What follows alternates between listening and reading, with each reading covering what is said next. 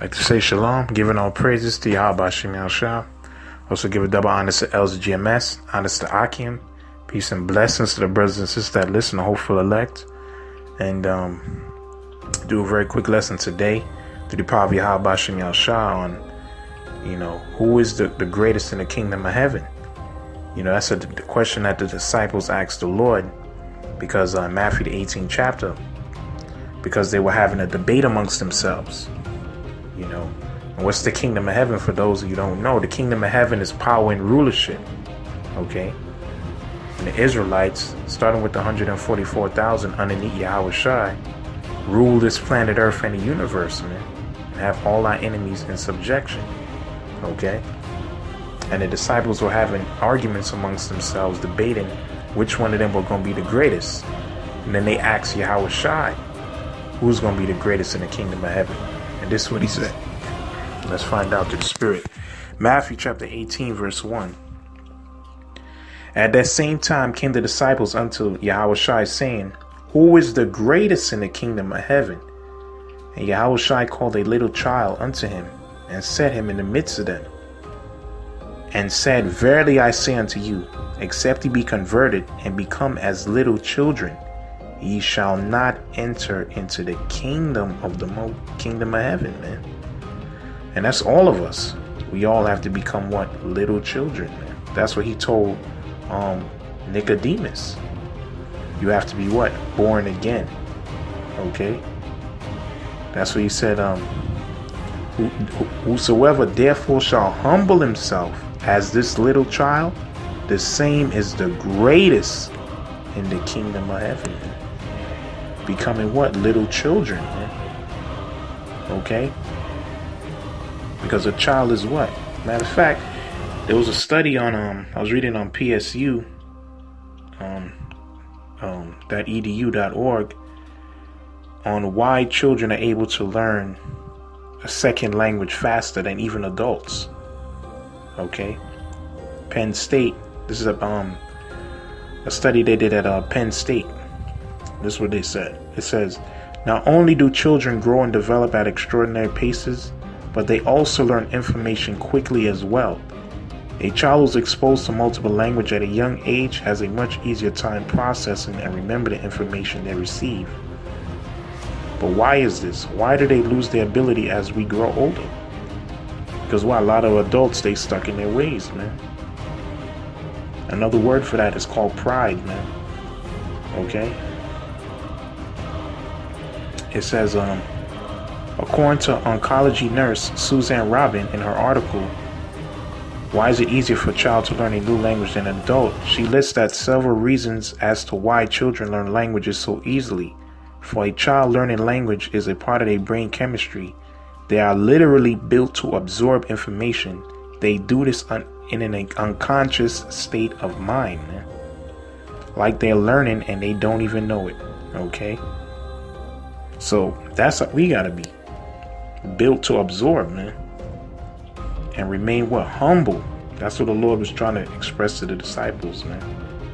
Humility and modesty goes a long way with the Heavenly Father, man. Long way, man. All right. And there was also another instance when a child tried to come up with their parents. The parents wanted them, um, the Lord to pray over the children, and the disciples rebuked them, man. The Lord wasn't too pleased with that. We're going to read right now. Mark chapter 10, verse 13, I think.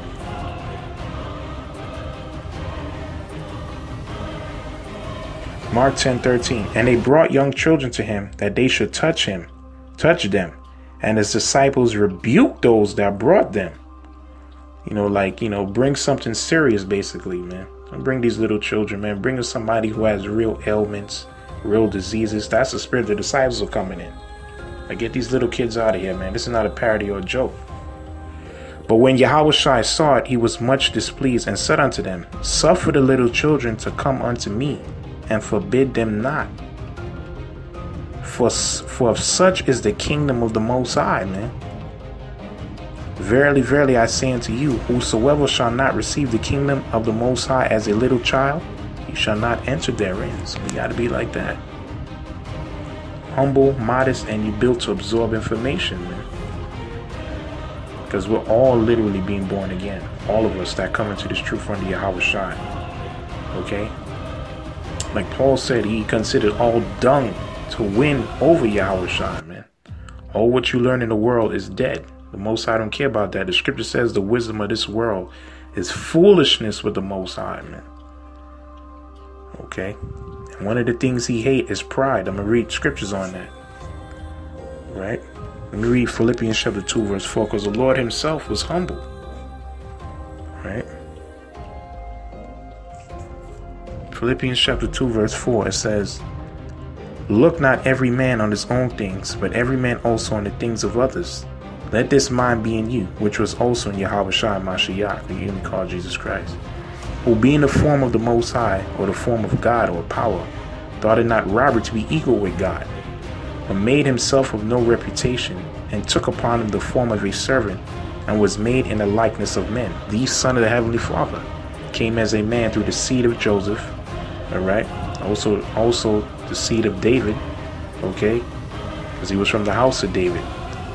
Sperm man and being found in fashion as a man he humbled himself and became obedient he was willing to do the will of the heavenly father man became obedient unto death even the death of the cross and he didn't want to go on the cross he prayed to the father three times can he move this cup away from and the father didn't answer his prayer. So guess what? He had to go ahead and do it.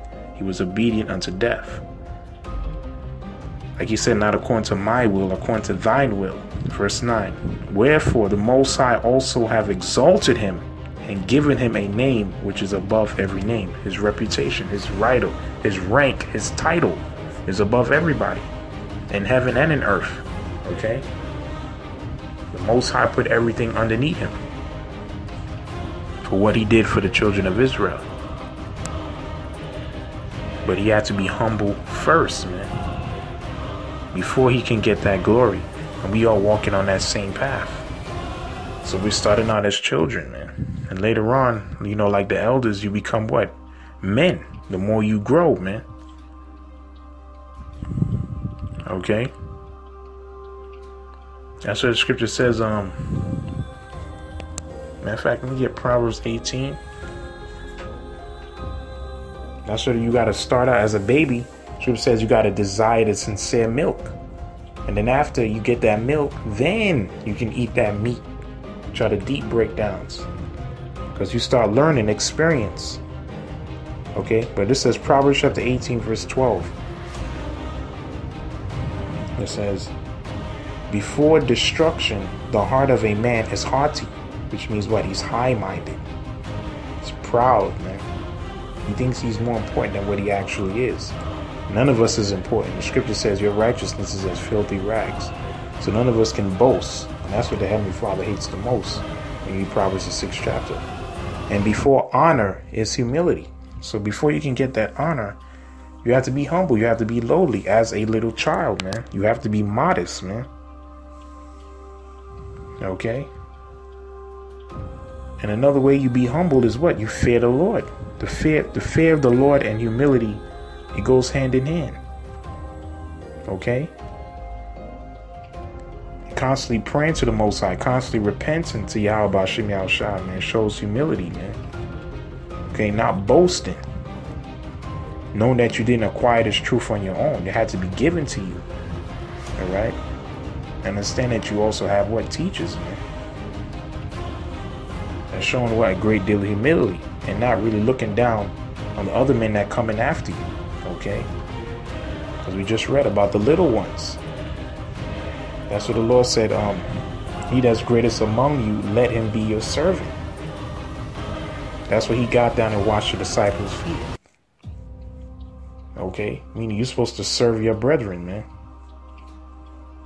Okay? So he want that responsibility, man, is you gotta be a servant. Like Yahawashi was, he had to be obedient unto death. Read another precept. Proverbs chapter 22, verse 4.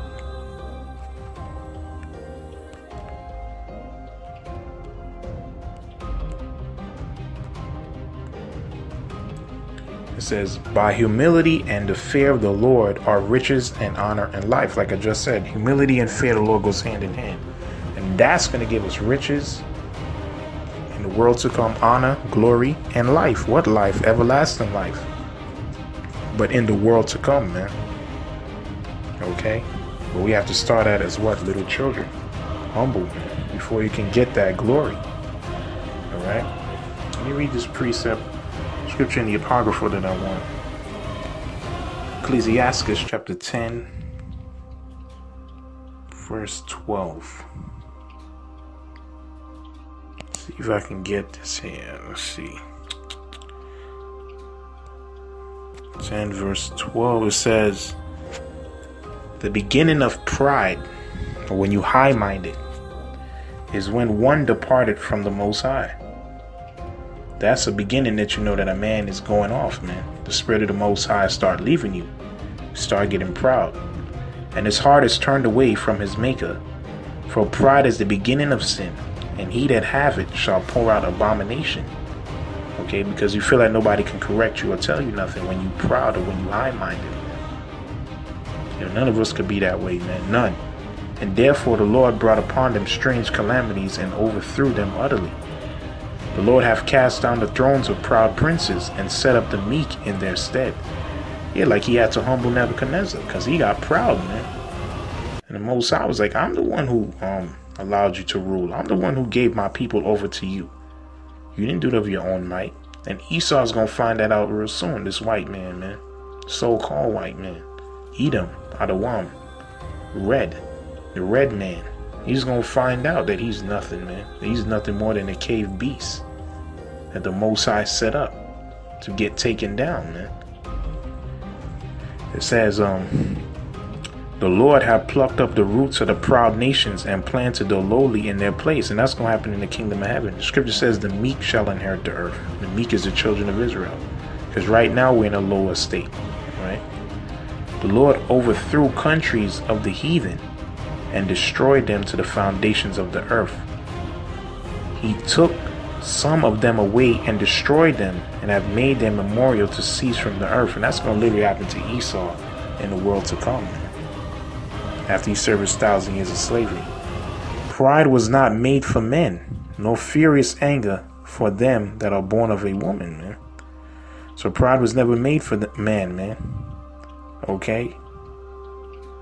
Because we all fall short. It says, They that fear the Lord are a sure seed. Alright? And like I just read in Proverbs, man. Okay, the fear of the Lord and humility goes hand in hand, man. That's to lead to riches, honor, and life. And they that love him an honorable plant. They that regard not the law are a dishonorable seed, and they that transgress the commandments are a deceivable seed, which are the two thirds. Okay, so scripture says pride wasn't made for man.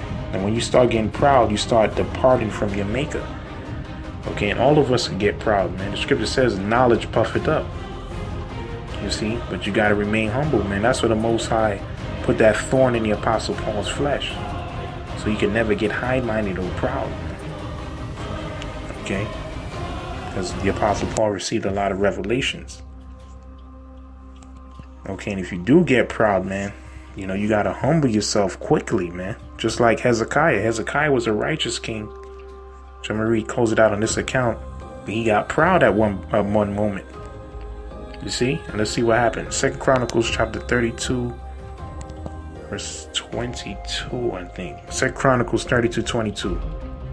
Thus the Lord saved Hezekiah from the inhabitants of Jerusalem from the hand of Sennacherib, the king of Assyria, when he sent that angel. I forgot they killed over hundreds of thousands of Assyrians that wanted to attack Jerusalem at that time, which Hezekiah was a righteous king. All right, he prayed to the Lord, and Most High sent a death angel down to kill hundreds of thousands of Assyrians, and from the hand of all other, and guided them on every side. And many brought gifts unto the Lord to Jerusalem, and the presents to Hezekiah king of Judah, so that he was magnified in the sight of all nations from thenceforth.